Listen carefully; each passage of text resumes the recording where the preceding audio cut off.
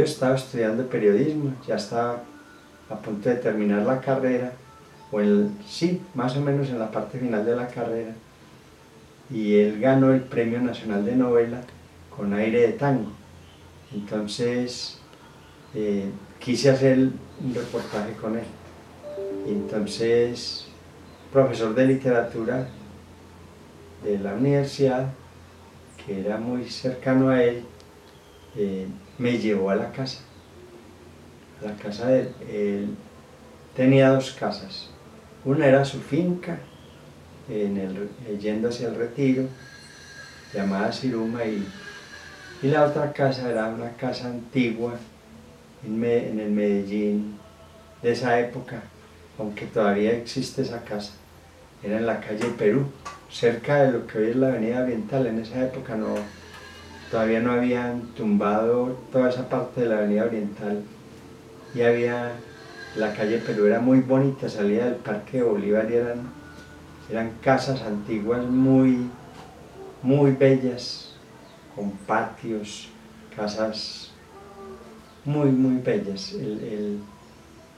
Eh, la casa entonces, eh, donde él vivía cuando venía a Medellín, que en esa época él venía mucho porque pasaba cierta, cierto tiempo, más de la mitad de la semana aquí porque era profesor de literatura en la Universidad Nacional y porque ya tenía, ya, ya había empezado su taller de, escritura en, la biblioteca piloto.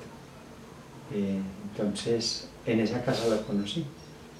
Era, un, era una casa en esa casa nació León de Grey, se dio se dio cuenta mucho después, pero, pero da esa coincidencia, ahí nació León de Grey. Eh, la casa tenía portones altos, eh, tenía un patio muy bonito y tenía unos, unos tres cuartos y tenía un lugar que era donde él recibía a los amigos, junto al patio.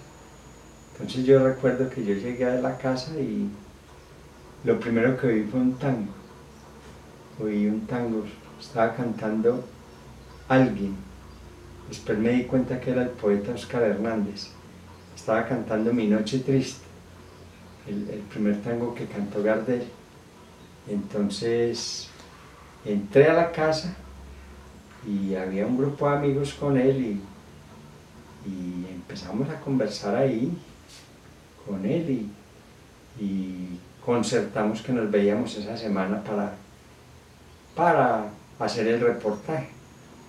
Entonces, esa semana, al día siguiente volví y estuvimos conversando durante toda la semana, todas las tardes. Hablábamos por ahí de 3 de la tarde por ahí a una o dos de la mañana, sin grabadora, yo tomaba nota y, para mí eh, ese reportaje me cambió la vida, fue el primer gran escritor vivo que yo conocí. Eh, ahí nació también una gran amistad. Ese reportaje se llama Sentir que es un soplo la vida. Eh, yo recuerdo la dedicatoria que le puse al reportaje, le puse un subtítulo que dice, eh, un homenaje